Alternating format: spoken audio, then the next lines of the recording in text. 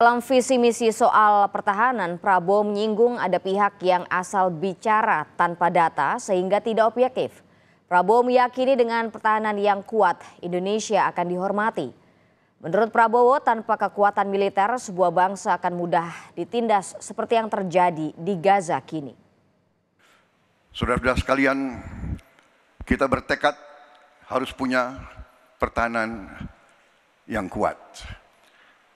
Mungkin ada yang asal bicara tanpa data, ya kan?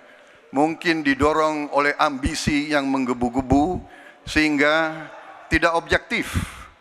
Saudara-saudara sekalian, saya sebagai Menteri Pertahanan berpegang kepada doktrin, kepada strategi nasional dan semuanya adalah atas dasar kepentingan bangsa dan rakyat Indonesia dan saya mampu mempertanggungjawabkan dan saya berkeyakinan hanya dengan pertahanan yang kuat kita akan dihormati, kita akan menjaga kepentingan nasional kita.